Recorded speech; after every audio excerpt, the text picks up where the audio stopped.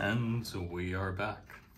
So, in the last video, I was sort of reevaluating how I'm going to approach this.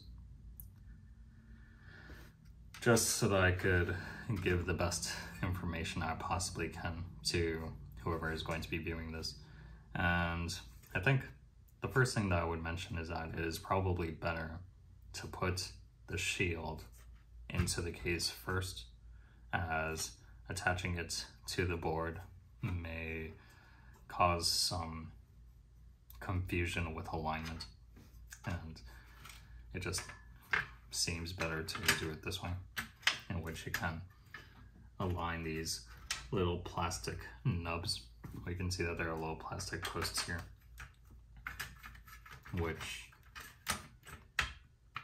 fits this shield into place. Also, something to keep in mind that on the other video, didn't realize I made this mistake, but this is going to be the underside of the board where all the chips are. This is going to be the top side where we have the cartridge connector pointing outwards toward the console or toward the opening of the console. And I had this cartridge connector upside down, so I would or recommend being careful. And making sure you don't make that mistake. Because you won't be able to reassemble the console if you do that. So we want this RF module area to go into these recessed cavities first. And then slowly push down the rest of the board so that this cartridge connector that is not utilized fits within these three metal plates. Could take some wiggling, however, it's just going to snap into place just like that. And then from here, you can lift up the console, the board, I should say,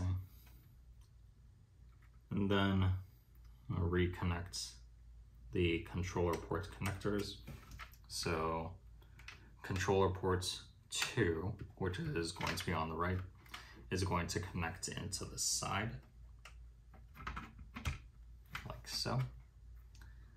Connector port one is going to connect in the front, like so. The connector for the power button and the reset switch, or reset button power switch, however you like to call it, is going to route down into the right with these little plastic notches facing upwards and then connecting into the right side of the console. Take special care to route the cables in such a manner that they are not going to block any of the screw posts. So something like this. And this one's the lowest one. Let's try moving it down there. Okay. And there we go. So I just realized that I also mentioned that would be opening or possibly opening this RF shield take a look on the inside. I think along with opening the switches.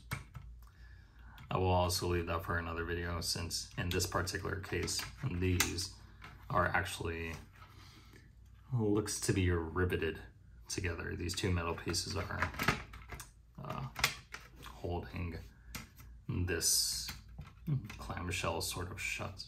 So we do want to make sure the cartridge connector has a good connection push these cables downward. and then from here, we can take our cartridge loading mechanism and proceed to reinstall it back to the way it was. Something to keep in mind is that we do have this plastic lip so that when we are reassembling the, con the console or this little tray mechanism forward, we want to make sure that this goes underneath the board while we're attempting to reassemble it. So taking the loading mechanism at an angle, we can insert it uh, above this connector. And then after we clear the post in the front, sort of wiggle it from side to side to determine that there is a, uh, that it's, that little lip is under the board. And giving it a quick lift, we can see that the rest of the board moves with it, so. And now it is connected. Or at least it's situated as it should be. We can also see that the screw posts align with the holes on this connector. So from here, we can go ahead and insert the two screws that belong on the shield, as well as the four screws that belong on the cartridge loader. That tray mechanism. So the two screws that go onto the shield are going to be over here in the top left and the top right. I'm holding the console sideways, but the top left and the top right of this cartridge loader.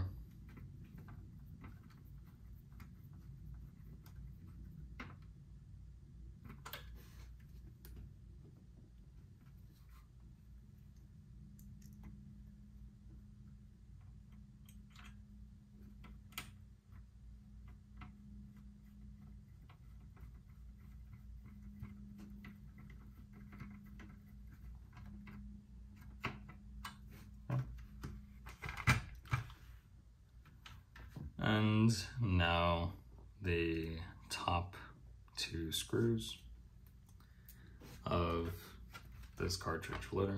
Seeing where these holes align. Okay. So it will not be the top hole. It will be the bottom hole, which is going to take these screws, installing the long ones at the top, the short ones at the bottom. I certainly hope that when I was disassembling this, I also said that. That would be ideal.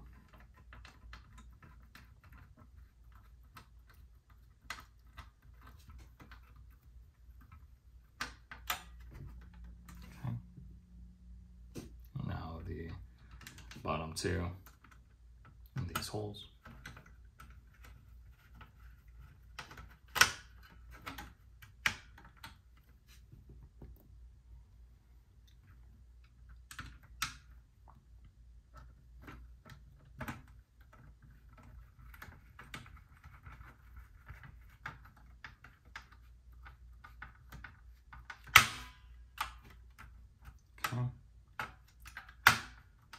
So we're resettling, repositioning the screws, making sure mm-hmm. that all of them are situated as they should be.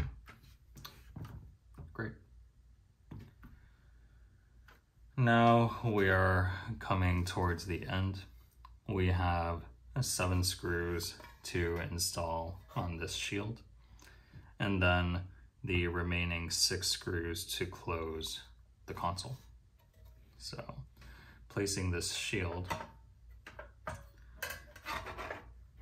back over this tray mechanism, we can proceed with installing the seven screws around the perimeter.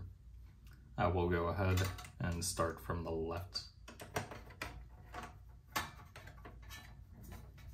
Excuse me, that's one.